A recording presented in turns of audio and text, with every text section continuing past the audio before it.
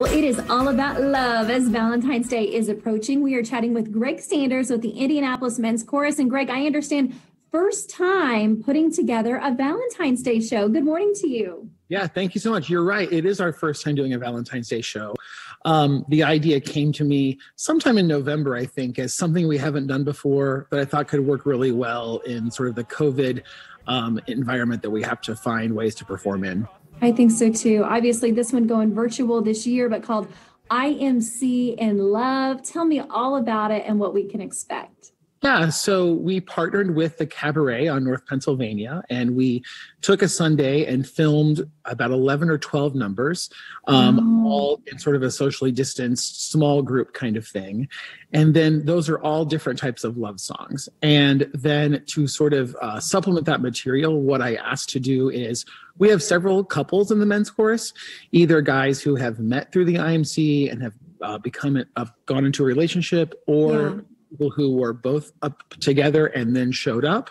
Um, we also have um, several straight guys and their wives are, are involved as well. And so we thought it would be really nice to just sort of hear from the different couples that have been involved in our group mm. uh, and the ways in which music has sort of shaped both of their lives together. We just loved it because it does give us that opportunity that we can perform together. Um, we talk about music all the time as, as we are music educator, educators. So we, it gives us that moment to like kind of have our passion of what we talk and collaborate so much on that for our students, that we can actually do that same thing. So it's actually really awesome.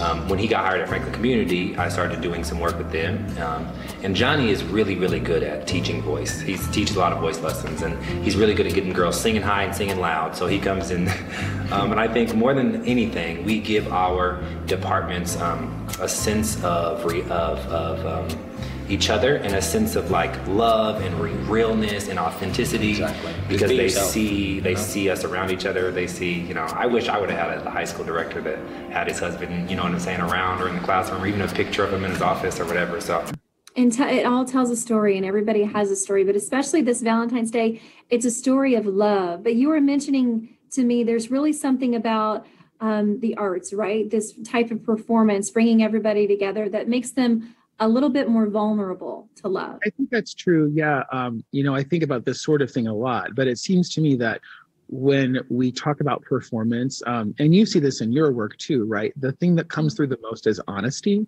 Um, and the only way to really be honest is to be vulnerable. Um, and certainly in the performing arts, that level of vulnerability is something we really explore we don't necessarily talk about it that much, but it's something that has to be there for performances to be successful.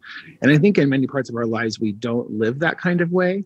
And so when we're invited into that kind of vulnerable space, it obviously opens us up to mm experiencing love of all kinds. Maybe it's just yeah. love of friendship, maybe it's love of community, but also it could certainly be a romantic kind of love. And I love I think that groups like ours really kind of um, allow people to open themselves up in that mm way. I know that you said we can watch a Sunday virtually, the live performance at six o'clock. Any other details, information you can pass along uh, that people need to know if they would like to, to take a moment to watch? Yeah, you can watch it at several on several different platforms. I would invite you first of all to go to our website, which is okay.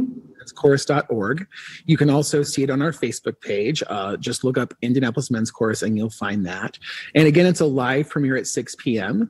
Um, and we'd love to have everyone who wants to sort of check Wonderful. it out. It's going to be a really sweet evening. Yeah, I think so too. The story of love, IMC in love. Great. Thank you so much. Appreciate your time. I hope to see you again soon.